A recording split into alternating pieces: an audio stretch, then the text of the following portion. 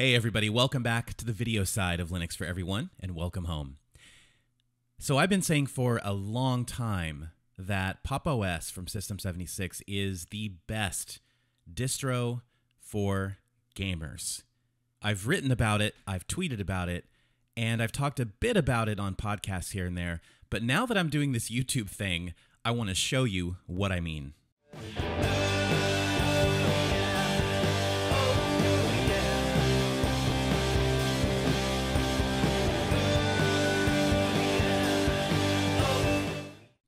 So in my last video, I looked at uh, how to install Steam and enable Steam Proton and install Lutris and Wine on Elementary OS. And to put my money where my mouth is regarding this whole Pop! OS claim, I'm going to show you the same exact thing on Pop! OS 1804. So just like before with Elementary OS, the goal here is to get Steam installed, enable Proton so that we can play Windows games on Steam for Linux, and get Wine and Lutris installed.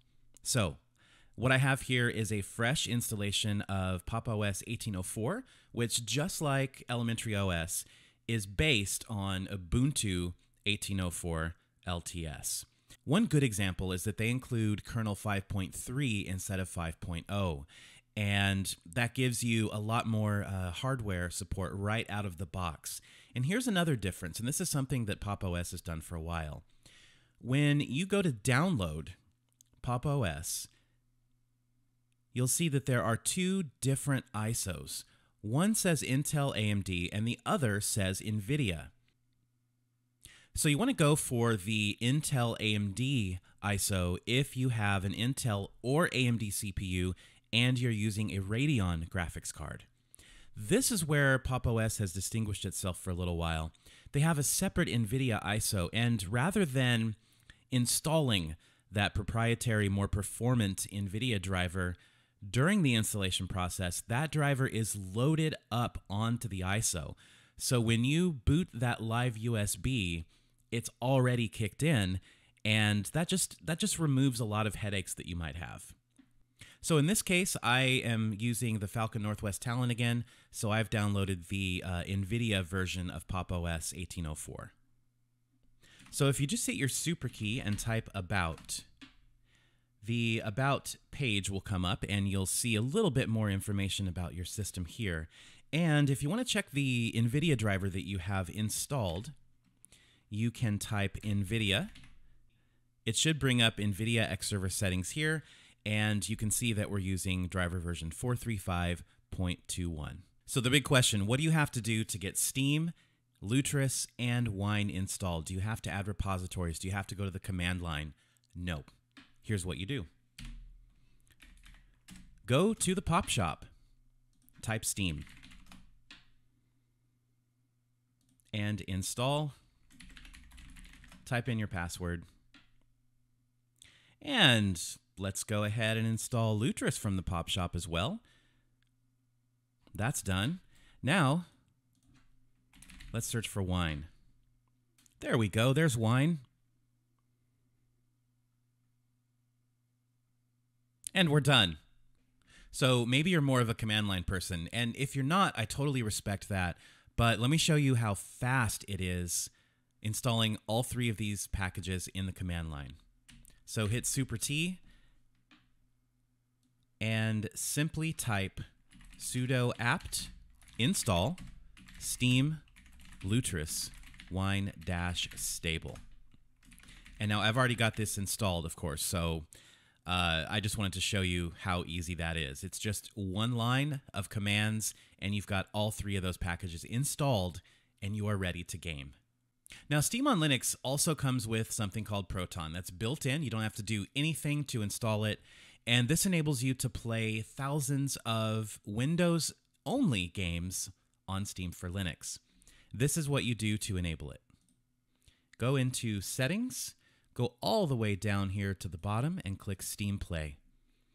And click Enable Steam Play for all other titles. Now, uh, obviously, not every game that you can play on the Steam client on Windows will work here, but let me show you a fantastic resource. I mentioned this in the elementary OS video, and I'm just going to briefly touch on it here because it really is invaluable. It's called Proton DB, and this is a fantastic resource. You can see, uh, so let's type in, for example, Skyrim. So you can check a game from your library or check a game before you buy it and see how it's running via Steam Proton. And a lot of times you'll also get some tips here from other users who have given their uh, their compatibility reports. And one more tip, you can also link up your Steam account to ProtonDB, which is a great thing to do. So once you log in, you can browse your own library and check out the compatibility ratings on Linux with a number of filters. So, for example, you can look through ProtonDB rating. And okay, so these are all the games that are going to work flawlessly. Those are the ones rated platinum. Gold and silver are also probably going to work, but maybe with a few hiccups here and there. Before I go, I want to give you a suggestion for another gaming app that is also available in the Pop! OS shop, and that's called GameHub. And I recently heard about this, uh, well, it was about six months ago, but this is a brilliant sort of all in one game launcher. And you can connect your Steam account, your Good Old Games account, your Humble Store account, and itch.io. You can uh, you can drag in custom game art. You can configure all these tweaks, and uh, it's it's really a brilliant, streamlined, just beautiful piece of software.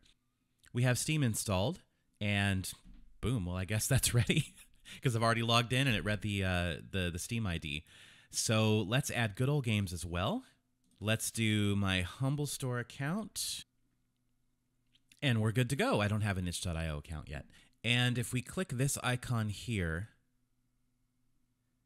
you will see your entire game collection. Isn't this nice? Let's see what I've got on good old games.